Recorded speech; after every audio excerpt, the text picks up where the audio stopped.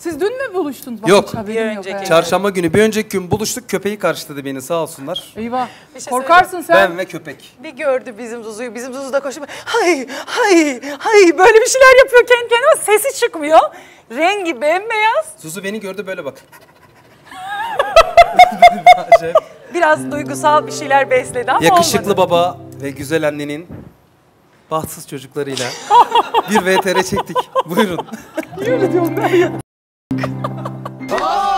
Ben nasıl edeyim? Saz getir fasıl edeyim. Ben nasıl edeyim? Saz getir fasıl edeyim. Sazlar çalındı, türküler söylendi. Fazla güzel değilsen edeyim Alişan sordu. Güzel türkücü Sevcan Orhan yanıtladı. Dayak yediğimizi mi söylüyorsun?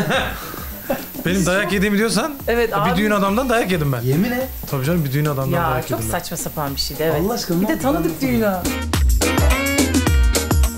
Ünlü türkücü Sevcan Orhan ailesinin yaşadığı evinin kapılarını sunucumuz Alişan'a açtı. Evet efendim, bugün Demet Barışan'a sabah sabah olarak Sevcan Orhan'la ve ailesiyle böyle bir röportaj yapacağız. Biraz deşeceğiz Sevcan Orhan'ın hayatını ve evlerinden yavaş yavaş giriyoruz. İçeri doğru kapıyı çalacağız. Bakalım bizi Sevcan Orhan nasıl sürprizlerle karşılayacak? Burası da mı açık? Burası da açık. Eve hırsız girse her şeyi alıp götürecek. Her yer açık. Sevcan Orhan'ın sevimli köpeği Zuzu aniden havlayınca Alişan bakın nasıl ürperiyor. Kapıyı welcome diye çalıyoruz. Sevcan Hanım!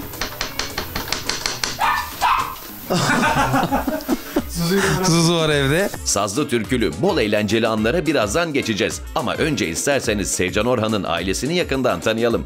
Güzel türkücünün babası Kenan Bey kucağında Zuzu'yla karşılıyor bizi. Yanında Sevcan Hanım'ın abi Cihan Bey de var. Zuzu sen beni tanıyorsun. Beni tanıyorsun Alişan abim ben. Beni tanıyorsun. Beni tanıyorsun Zuzu. Sevcan Orhan gelmiyor bir türlü. Bir terslik var ama ne? O gelmiyorsa biz gidelim o zaman yanına. Biz gidelim sürpriz olsun bakalım ne yapıyor gel. Sakin ol Zuzu sakin ol. Misafir geldi. Nasıl? Nasıl? Zeytinyağı dök. ya evet. Çok heyecanlandık zeytinyağı döktük kusura bakmayın. Neredesin sen? Geldim için bütün kapılar açık, bütün şeyler açık. Ya iyi de yani birazcık geç kaldınız biz de kapıda bekleyelim dedik. İlk önce böyle çok güzel bir hazırlanma yapmıştık sonra da aman değmez dedik. Hak ya. Ne haber nasıl? çok iyiyim hoş geldiniz Anne ya. gelsene. Ay çok mutlu oldum. Annem zeytinyağını Gel döktü gel. de o yüzden. Aa, Zeytin şu an zeytinyağı. olsun nazar çıktı nazar nazar. Ünlü türkücünün annesi Selma Hanım yıllar geçse de eşi Kenan Bey'e ne kadar aşık. Baksanıza sözleri ele veriyor aşkını desek yeri. Yalnız baba nasıl yakışıklı? Babam gördünüz mü? E ya yakışıklı olmasa ben alır mıydım onu? Allah diyor. Oo, Gönül sevdi. Gönül'e güzel geldi. E göze de güzel gelince tamam bitti. Kedi ve özellikle köpek fobisi olduğu bilinen Alişan'ın şansına bakın. Köpeğin yanı sıra kedi de var evde. Kedi de mi var? Kedi de var tabii bizde her tür hayvan var. Bulabilirsin. Kedinin şeyine bakın. Tasmasına bakın. Aa. Bu zilloş. Ben bunu yolda buldum. Ee, çocukların elindeydi bayağı bir kötü durumdaydı. Yapma, merak etme. Çok insancıldır. Ee, yolda bulduk ve bizim bir bahçemiz var. Annemlerin burası çok müsait kedi köpek falan beslemek için. Fakat zilli o kadar şey ki şurası işte görüyorsunuz e, girebilmek için çok müsait. Her açık bulduğunda giriyor artık biz de ona dokunmuyoruz yani. Evin kedisi gibi aşıları maşıları da Kız var. mı? Kız. Kısırlaştırdın mı? Tabii tabii kısır. Bir de biz onu Bırak bir çocuk yapsaydı ondan sonra yapsaydı. ben çocuğa karşıyım. Zuzu bir yandan, Zilloş bir yandan evde gezinince Alişan da bağdaş kurmak zorunda kalıyor. O anlarda Zuzu kameramanımız ve Alişan arasında mekik dokuyor. Gerçekten çok... Baba dedi ki Suzu'yu koy yere dedi. Baba bırak. Baba attın hayvanı aşk olsun ya. Zuzu tanıdın mı beni? Kızı seni çok seviyorum. Tanıdın beni Alişan amcam ben. Zuzu'yla aynı adı taşıyan ilk köpekleri Sevcan Orhan'ın babası Kenan Bey'in hayatını kurtarırken canını feda etmiş. Bu hikayeyi duyunca biz de çok üzülüyoruz doğrusu. Bu Zuzu şey değil mi? Bir tanesi rahmetli olmuş. Evet bir tanesini kaybettik. Onu babamın bayağı bir o babamın hayatını kurtardı öyle söyleyeyim. Bir pitbull saldırısına uğrayacaktı babam ki onu görünce hayvan öbür hayvan da Zuzu'ya saldırdı. Tabii tabii. Yani saldırdı derken pitbull'u havlayınca hayvanın dikkati dağılıyor ve bizimkine işte direkt kilitleniyor falan. Baba Kenan Bey'i yakalamışken sevilen türkücü çocukken nasıldı onu soruyoruz kendisine. Böyle hani küçüklükten beri şarkı türkü söyler miydi? Gerçi sizin evde hiç şarkı türkü eksik olmuyor ama. Gerçi söylüyordu söylüyordu ama türkü falan söylemiyordu. Ne söylüyordu? E, ne bileyim işte pop şarkı. Ajda. Pekkan mı? Her şey Ya her şey söylüyordu. Yani türkü hariç her şey söylüyordu. Cidden diyorum. Türkü hariç? Evet cidden diyorum. Aa, Enteresan. Tabii ben akşamları geliyorum eve. Hanımla beraber böyle tabii soframız hazır. alayım telefonu. Bağlama falan çalıyorum ben. Ee, teyzem de işte bana eşlik ediyor. Bunlar pek fazla ilgilenmiyordu. Cidden diyorum yanımıza gelmiyorlardı ya. Allah Allah. Enteresan. İlk başlarda öyleydi gerçekten. Ondan sonra Alışıla gelmiş bir şey ya bizim için. Herkes çalıyor, herkes söylüyor zannediyoruz. Sıradan bir şeydi yani. Kenan Bey kızı Sevcan Orhan'ın müziğe yeteneğini daha küçük yaşta keşfetmiş. Dedim ki eğer ben Sevcan'ı dedim sahneye çıkarırsam, Sevcan'ı piyasaya çıkarsam Sevcan dedim Türkiye'nin bir numarası olur. Bak samimi konuşuyor o zaman. Ya biraz abartacağım ama. Haberim yok. Cidden bak senin haberin yok. Şu an ilk yüzde, ilk yüzde. Heh. Ondan sonra Anne Selma Hanım'a soralım bir de. Bakalım Sevcan Orhan'ın çocukken haylazlıkları var mıydı? Sevcan gerçekten çok uslu, mülayim bir çocuktu. Böyle Çok sakin. Yemek memek yapar, şey yapar, anne yardım eder. Yapar mı böyle şeyler? E, tabii tabii yapardı. Rahmetli anneannesine gittiği zaman anneanne ben bulaşık yıkayacağım derdi. Anneannesi onu tezgah küçük bir tabure koyardı çıkardı. Verirdi eline böyle kırılmayacak şeyleri. Hadi Sevcan bunu yıka o zaman derdi. çoraplarını da yıkattırıyor. Daha sonra da Ana yüreği işte. Kızını ilk televizyonda gördüğünde bakın neler hissetmiş. ilk televizyonda izlediğim zaman çok heyecanlandım.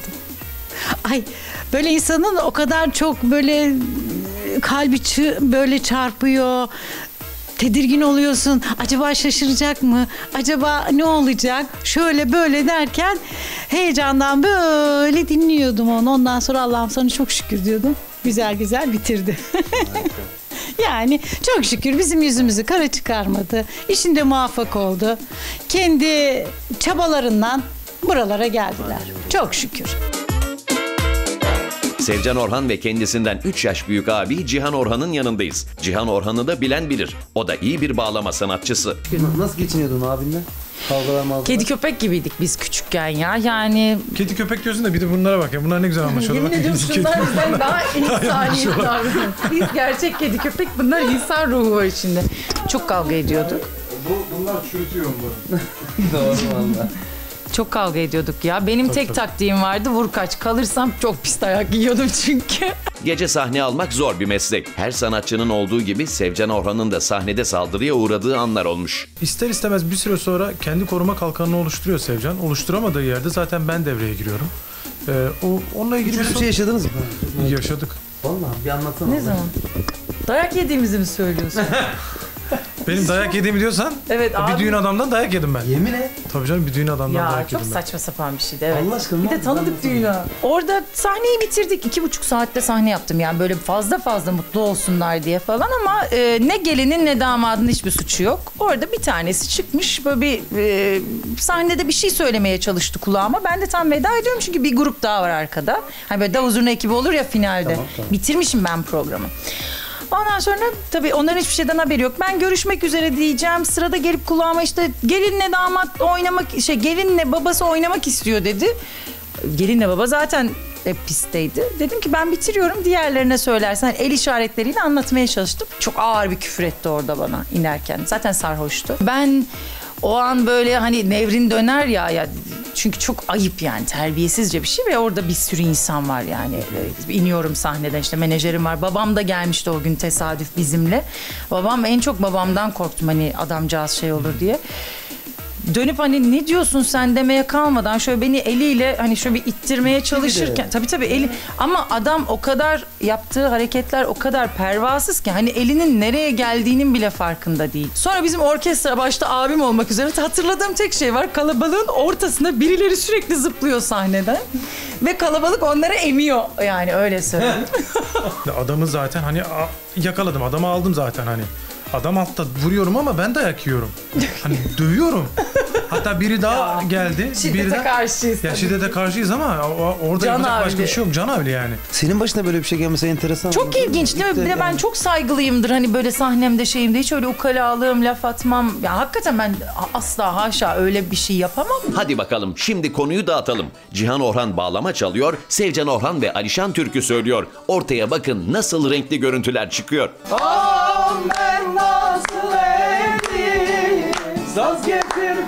nasıl edeyim Aman ben nasıl edeyim Saz getir fasıl edeyim Fazla güzel değilsen Gönüldür nasıl edeyim Gönüldür nasıl edeyim Yemin ediyorum tok evin aç köpeğe. Böyle mi?